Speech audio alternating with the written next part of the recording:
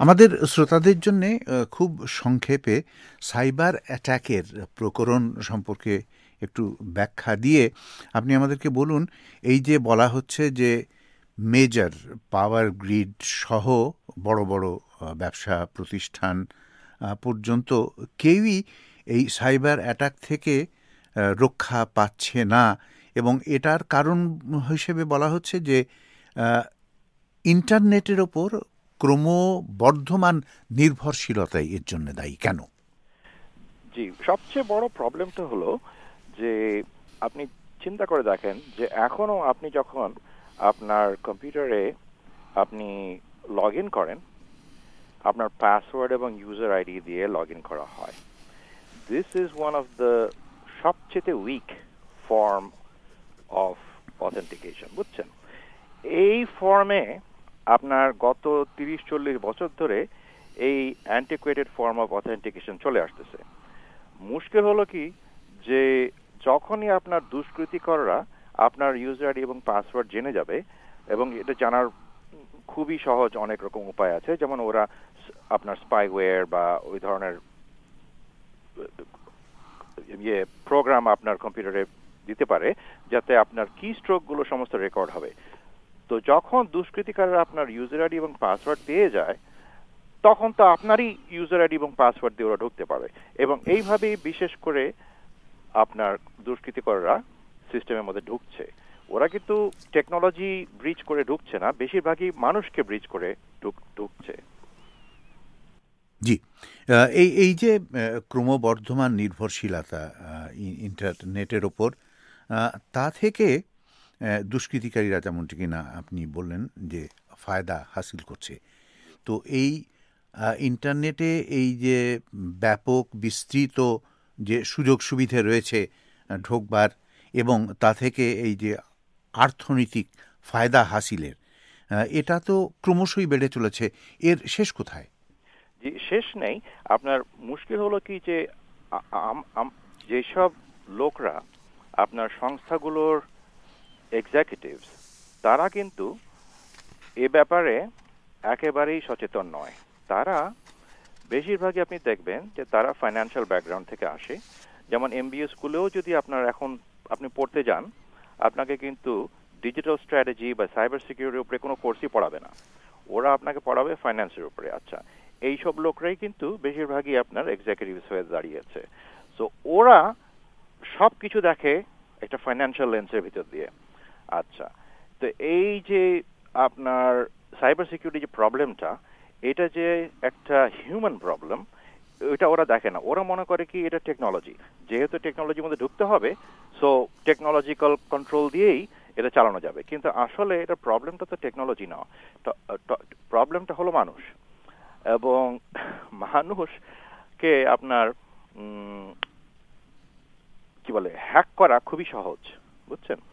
এবং এই হ্যাকিংটা আপনার অনেক সময় আপনার বাসা থেকেও হচ্ছে, আপনার ওয়ার্ক কম্পিউটার থেকেও হচ্ছে।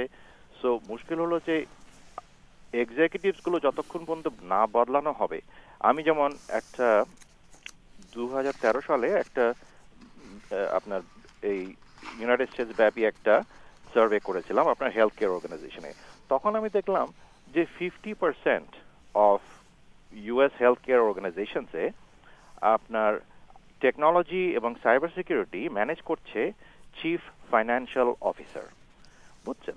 সো এখন আপনি চিন্তা করে দেখেন যে চিফ ফাইন্যান্সিয়াল অফিসার যদি আপনার আইটি এবং সাইবার সিকিউরিটি স্ট্র্যাটেজিটা তৈরি করে, তা সেটা কি কোনোদিন ভালো হবে? যেমন আপনার বাস ড্রাইভার যদি আপনার এরোপ্লেন চালায় লাইসেন্স ছাড়া, সে এরোপ্লেনে অ্যাক্সিডেন্ট হবে। তো সেই কাজটাই হচ্ছে এখন। অর্থাৎ কিনা যেটা আপনি বলতে চাইছেন এবং আমরা যেটা বুঝছি সাধারণ ভোক্তা হিসেবে। সেটা হলো যে ইন্টারনেটের সুযোগ সুবিধে ইন্টারনেটের পরিসর ক্রমশই বিস্তৃত হচ্ছে এবং ভবিষ্যতে আরও বিস্তৃত হবে তেমনটি মনে করা যেতে পারে। এবং এই বিস্তৃতির সঙ্গে সঙ্গে এই সাইবার দুর্নীতি সেটাও ক্রমশ বাড়বে। সেই জন্য একমাত্র উপায় হলো আপনার যে যেসব লোকরা এইসব স্ট্র্যাটেজি তৈরি করছে, সেসব লোকদেরকে বদলাতে হবে এবং আমাদের এডুকেশনটাকেও চেঞ্জ করতে হবে। যেমন এমবিএ এডুকেশনে এখন ডিজিটাল স্ট্র্যাটেজি একটা কম্পালসারি করা উচিত, কিন্তু এখনও এটা বহুত ইউনিভার্সিটিতে হচ্ছে না। এবং আপনি যদি একটা কোম্পানির সিইও বা এক্সিকিউটিভ হতে চান, আপনি যদি ডিজিটাল স্ট্র্যাটেজি বা সাইবার সিকিউরিটি সম্বন্ধে আপনার কোনো জ্ঞানই না থাকে এবং আপনি যদি ওরকম অফিসারকে হায়ারও না করেন, তাহলে তো you'll be like a sitting duck যেটা হচ্ছে। কারণ আপনি দেখবেন যে যদিও অনেক সংস্থাতেই এইসব ব্রিজগুলো হচ্ছে, এইসব ভানাগুলো হচ্ছে, অনেক সংস্থাতে কিন্তু হচ্ছে না। আপনি গবেষণা করে যদি দেখেন যেসব সংস্থায় এগুলো হচ্ছে না, কেন হচ্ছে না, আপনি তখন দেখবেন যে তাদের সংস্থাতে কিন্তু ভালো লোক আছে ওই ডিজিটাল স্ট্র্যাটেজি তৈরি করার জন্য। কারণ আপনি যদি ভালো আপনি যদি টেকনোলজিও যে চুজ করেন, যদি ভুল মানুষ টেকনোলজি চুজ করে, তারা মানে আনকোয়ালিফাইড মানুষ যদি টেকনোলজি চুজ করে, তারা ঠিক টেকনোলজি চুজ করবে না। হুম? কিন্তু কোয়ালিফাইড লোক যদি টেকনোলজি চুজ করে they will choose the right technology সেই টেকনোলজিকে কনফিগারও করবে তারা ভালো করে, এবং সেই টেকনোলজিকে উন্নয়নও করবে ভালো করে। কারণ সাইবার সিকিউরিটি একটা সবচেয়ে বড় জিনিস হলো কন্টিনিউয়াস ইনোভেশন কন্টিনিউয়াস উন্নয়ন। আপনি যদি উন্নয়ন না করতে থাকেন যেমন ওদিকে দুষ্কৃতিকাররা কিন্তু কন্টিনিউয়াস উন্নয়ন করে যাচ্ছে। তা আপনিও যদি উন্নয়ন না করেন তাহলে তো আপনার টেকনোলজি অবসলিট হয়ে যাবে খুবই সহজে যেটা হচ্ছে। এই সাইবার অ্যাট্যাক্সের দুটো দিক মোটামুটিভাবে ইয়ে চিহ্নিত করা যেতে পারে। একটা হচ্ছে আন্তদেশীয় আন্তরাষ্ট্রীয় উদ্দেশ্য প্রণোদিত অ্যাট্যাক আর একটা হচ্ছে সাধারণ যে দুর্নীতিবাজ যারা লোকজনের অর্থ আত্মসাত করতে চায়। তো আন্তদেশীয় আন্তরাষ্ট্রীয় যে সাইবার অ্যাট্যাক্স সেটা তো ধরেন রাষ্ট্র পর্যায়ে তারা এর বিহিত করার চেষ্টা করে। কিন্তু সাধারণ মানুষের ওপরে যে অ্যাটাক হয় সাধারণ মানুষের অর্থ আত্মসাত করার জন্যে সেটার নিশ্চয়তা কে দেবে? সেটার নিরাপত্তা বিধান কে করবে? ওই একই? আপনার ধরেন, আপনি যদি ধরেন অ্যামাজনে আপনি যাচ্ছেন কাজ করা মানে বিজনেস করার জন্য। এখন অ্যামাজন যতক্ষণ পর্যন্ত আপনাকে খুব রিলায়েবল একটা অথেন্টিকেশন সিস্টেম না দেবে, এই যে ইউজার আইডি এবং পাসওয়ার্ড এই চলে আসতেছে, বা ব্যাংকিংয়েও এই, এরকম যদি ইম্প্রুভমেন্টটা না হয়, তো আপনার বেশিরভাগই তো হচ্ছে রেসপন্সিবিলিটি যেসব অর্গানাইজেশনতে আপনি বিজনেসটা করছেন। যেমন এখন অনেক রকম টেকনোলজি আছে, যেমন ব্লক চেইন বলে একটা টেকনোলজি আছে, যেটাতে আপনার অনেক উন্নত ভাবে আপনার অথেন্টিকেশন করা যায়, আপনার ইউজার আইডি পাসওয়ার্ডও লাগবে না, এবং ওগুলো হ্যাক করাও খুবই ডিফিকাল্ট হয়ে যায়। কিন্তু ওগুলো তো ইমপ্লিমেন্ট করা হচ্ছে না। ইমপ্লিমেন্ট করা হচ্ছে না এই জন্যে যে হয়তো ধরেন আপনার ইউজার আইডি এবং পাসওয়ার্ড দিয়ে আপনার অথেন্টিকেশন করতে কোনো পয়সাই হয়তো লাগে না। কিন্তু ওই ব্লক চেন জাতীয় বা ওই ধরনের বেটার কোনো অথেন্টিকেশন দিতে গেলে আপনার হয়তো প্রত্যেকটা মানুষ প্রত্যেকটা ইউজারের জন্য হয়তো এক ডলার কি দুই ডলার করে হয়তো খরচ হবে। কিন্তু ওইটা ওরা খরচ করতে চায় না। সো এইটা একটা মানে এইটা একটা প্রবলেম আর কি। জি। আমরা মাঝে মধ্যেই শুনতে পাই যে যুক্তরাষ্ট্র সরকারের পক্ষ থেকে চীনের উপরে, চীন সরকারের উপরে এই হাই সাইবার অ্যাটাকের জন্য অভিযোগ আনা হয়। তো এসব তো রাষ্ট্রীয় পর্যায়ের ব্যাপারে না অন্যান্য সাধারণ যে সাইবার অ্যাটাক সে ব্যাপারেও চীন সরকারের বা চীন চীনের উপরে এই অভিযোগ করা হয়? জি, অভিযোগ তো ধরেন নানান দেশের উপরেই করা হচ্ছে। কারণ আপনি দেখেন যে এটা তো এটা একটা খুবই ইন্টারেস্টিং পলিসি যখনই আপনি নিজের নিজের দোষ আপনি মানে অ্যাডমিট করতে না চাইবেন, তখনই ডিফ্লেকশন বলে একটা জিনিস বলা হয়, যেটা হলো যে আপনি ওইটাকে ডিফ্লেক্ট করেন অন্য কিছুর উপরে। মানে আপনি নিজের নিজের উইকনেসটা অ্যাডমিট করতে চাচ্ছেন না। ধরেন, চীন সরকার যদি আমাদের সিস্টেমে ঢুকতে পারে, সেটার দায়ী কিন্তু চীন সরকার নয়, সেটা দায়ী হলাম আমরা। বুঝছেন? সো এখন দুষ্কৃতিকারকে দোষ দিয়ে তো লাভ নেই। যেমন আপনি যদি আপনার বাড়ির দরজা খোলা রাখেন, হুম, তখন দুষ্কৃতিকার আপনার বাসায় আরামে ঢুকতে পারবে। কিন্তু আপনি যদি অন্তত কিছুটা সতর্কতা নেন, তাহলে আপনার দুষ্কৃতিকার ঢোকার আগে হয়তো আপনি অ্যালার্ম পাবেন বা অনেক কিছুই পাবেন। এবং আপনি যদি আপনার বাসাকে সিকিউর করতে চান আপনার দরজা আছে, তালা আছে, তারপরে আপনি সিকিউরিটি সিস্টেম করতে পারেন, তারপরে আপনি সেটাকে সার্ভেলেন্স করতে পারেন ভিডিও করতে পারেন, অনেক কিছুই করতে পারেন আপনি। কিন্তু আপনি যদি কিছুই না করেন, দরজাটা খোলা রাখেন, এখন চীন কেন? আপনি এ দেশের লোকও যদি আপনার ঘরে ঢুকে চুরি করে, তাহলে কি চোরের দোষ হবে নাকি আপনাদের দোষ হবে? আচ্ছা এই যে ইন্টারনেট এটা তো একটা বিধিবিধান, একটা পদ্ধতি, একটা সিস্টেম এই সিস্টেম যত দ্রুত হারে অগ্রগতি অর্জন করছে যত দ্রুত এর উৎকর্ষ সাধিত হচ্ছে সেই একই গতিতে এর নিরাপত্তা নিশ্চিত করা যাচ্ছে না।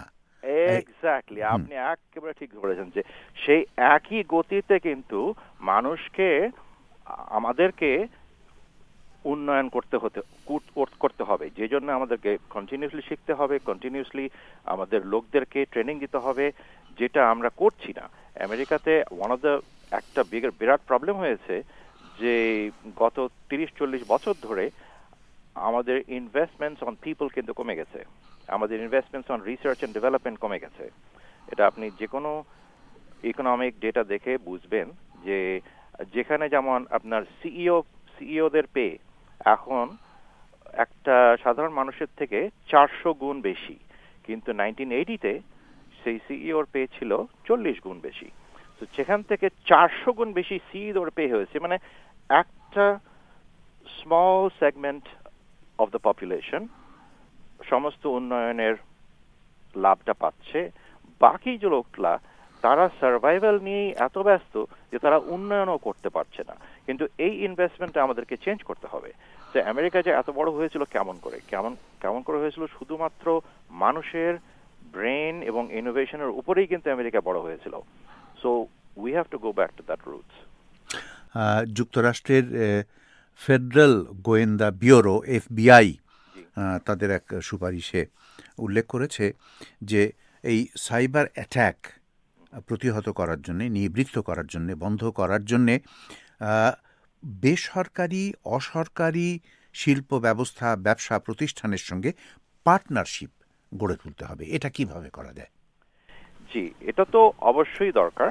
তার কারণ হলো যে আমাদের ইলেকট্রিক গ্রিড বলেন বা আমাদের হেলথ কেয়ার সেক্টর বলেন বা আমাদের ন্যাশনাল ক্রিটিক্যাল ইনফ্রাস্ট্রাকচার যতগুলো আছে, বেশিরভাগই কিন্তু সমস্ত প্রাইভেট হ্যান্ডসে এবং এদিকে কিন্তু দুষ্কৃতিকাররা যে কি করছে বা কি করছে না, আমাদের এফবিআই জাতীয় সংস্থাগুলো, এরা কিন্তু অনেক কিছুই টের পায়, কিন্তু অনেক সময় এগুলো জানানো হয় না প্রাইভেট সেক্টরে বিকজ এখনও সেই রকম ধরনের পার্টনারশিপগুলো ভালো করে তৈরি করা হয়নি। সো এই কথাটা, এটা যদি করা হয়, খুবই ভালো হবে এবং এটা এটা নিয়ে অনেক চেষ্টা চলেছে, কিন্তু এখন পর্যন্ত এটা ঠিক মতন করে করা হয়নি। তার কারণ হলো যে অনেক সংস্থাই প্রাইভেট সেক্টরে নিজেদেরকে দেখে অ্যাজ কম্পিটিটার্স মানে তারা একই সেক্টরে যদি অন্য কেউ কাজ করছে, তারা তাদেরকে দেখে কম্পিটিটার তো অনেকেই হয়তো ওই শেয়ারিং বা পার্টনারশিপের মধ্যে যেতে চায় না বিকজ তারা ভাবে যে আমাদের আমাদের ইন্টেলেকচুয়াল প্রপার্টি হয়তো চুরি হয়ে যাবে। কিন্তু আসলে আমার মনে হয় এটা যদি করা যায় তাহলে খুব ভালো হবে। কিন্তু এদিকে তো আমাদের নজর অতটা দেওয়া হচ্ছে না। আমরা তো অন্যান্য বহু জায়গায় নজর দিচ্ছি কিন্তু এইসব জায়গায় নজর দিচ্ছি না। এখন ব্যাপারটা এরকম দাঁড়িয়ে গিয়েছে যে শুধু সরকার ব্যবস্থা না শুধু একটা দেশই না আমরা সাধারণ মানুষ যারা দৈনন্দিন কাজে কর্মে প্রতিনিয়ত প্রতি মুহূর্তেই ইন্টারনেট ইন্টারনেটের ওপর নির্ভরশীল হয়ে গিয়েছি, হয়ে যাচ্ছি আরও বেশি করে এবং আমরা কেউই এখন এই সাইবার অ্যাটাকের হাত থেকে সুরক্ষিত নই মোটেও। উপসংহারে এ সম্পর্কে কিছু বলে আমাদের এই সাক্ষাৎকার আলাপের সমাপ্তি টানব। মনসুর হাসিব, বলুন। জি। আমরা অনেক কিছুই করতে পারি। যেমন ধরেন আমাদের যদি উইন্ডোজ থাকে এবং উইন্ডোজে আমরা যদি ব্রাউজিং করি, তাহলে উইন্ডোজে আপনার ধরেন কত অনেক কিছুই পাওয়া যায়। যেমন স্যান্ড বক্সি বলে একটা জিনিস আছে, সেটা আপনি যদি ব্যবহার করেন, তাহলে আপনার যে ব্রাউজারে আপনি যে যে কাজগুলো করবেন, হয়তো আপনার অ্যাটাক হলেও আপনি তখন জাস্ট কম্পিউটারটাকে রিস্টার্ট করলেই ওগুলো সব মুছে যাবে। ওগুলো ওগুলো ওগুলো আপনার আপনার কম্পিউটার থাকবে না।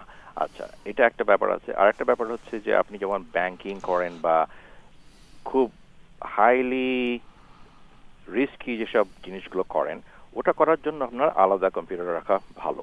যেমন আপনার খুবই সস্তা এখন ক্রোম বুক পাওয়া যাচ্ছে। আপনার আড়াইশো ডলারে তিনশো ডলারে ক্রোম বুক পাওয়া যাচ্ছে। আপনি যদি ব্যাংকিং ট্যাকিং এই ধরনের জিনিস করেন, ওই শুধু ওই একটা কম্পিউটারেই এবং ব্রাউজিং বা অন্যান্য জাতীয় জিনিস করেন অন্য কম্পিউটারে তাহলে বেটার হবে। আপনি একটু সেফটি পাবেন। আর তারপরে আপনার, কি বলে, আপনাকে নিজেকে একটু জ্ঞান করতে হবে। যেমন, আমরা যেমন ড্রাইভিং করি ড্রাইভিং করতে গেলে আমরা ড্রাইভিং স্কুলে যাই। তো আপনি যখন টেকনোলজি ব্যবহার করছেন, আপনাকে আমার মতে সবাইকেই টেকনোলজি সম্বন্ধে আরেকটু জ্ঞানী, জ্ঞান অর্জন করতে হবে ক্রমাগত। যদিও এটা মনে হবে যে একটা ইটস ট্রাবলসাম বাট আপনি দেখবেন যে আপনি যত গাড়ি সম্বন্ধে জানবেন আপনি তত বেটার ড্রাইভার হবেন। সেই রকম ভাবে টেকনোলজিও যদি আমরা ব্যবহার করতে শিখি আরও ভালো করে তাহলে এটা বেটার হবে। অর্থাৎ কিনা এইসব জি অর্থাৎ কিনা ইন্টারনেট প্রযুক্তির প্রয়োগ এর ব্যবহারে খুশি হয়ে থাকলেই চলবে না। এই সুযোগ সুবিধে কতখানি সুরক্ষিত এবং সেটা নিশ্চিত করার ব্যাপারেও আমাদের মনোযোগ দিতে হবে। মনসুর হাসিব আপনি আমাদের সঙ্গে কথা বললেন আমাদেরকে সময় দিলেন। আপনাকে অনেক ধন্যবাদ। জি আমাকেও আমন্ত্রণ করার জন্য খুবই ধন্যবাদ। Thank you thank you